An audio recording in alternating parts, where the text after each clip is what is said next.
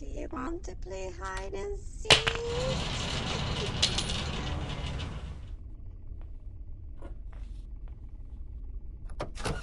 seek?